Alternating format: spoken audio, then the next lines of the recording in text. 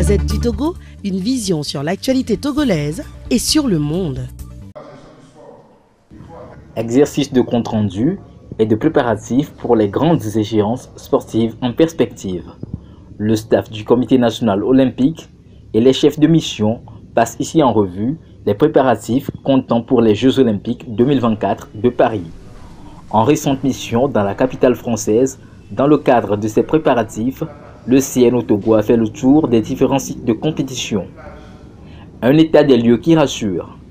L'instance nationale de l'olympisme s'est également renseignée sur les innovations apportées à cette rencontre sportive de haut niveau.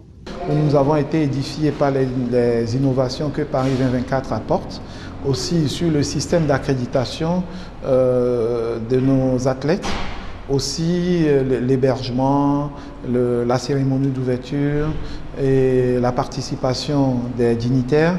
Donc c'est tous ces points que nous avons eus et aujourd'hui ça nous permet de pouvoir élaborer un budget euh, de participation à ces Jeux.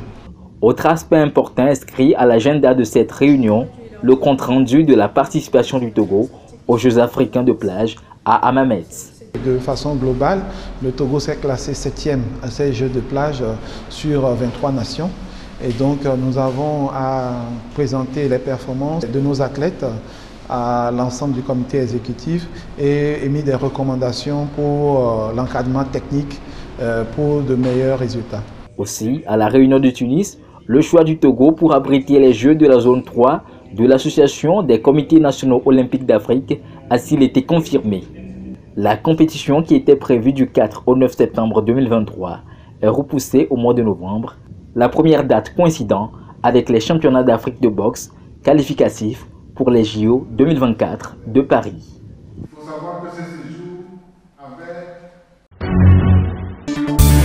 La Gazette du Togo, une vision sur l'actualité togolaise et sur le monde. Rejoignez-nous sur le www.lagazettedutogo.com ou sur nos comptes Facebook, Twitter et YouTube. Pour tout contact, écrivez à contact@lagazettedutogo.com ou appelez le 92 80 88 53.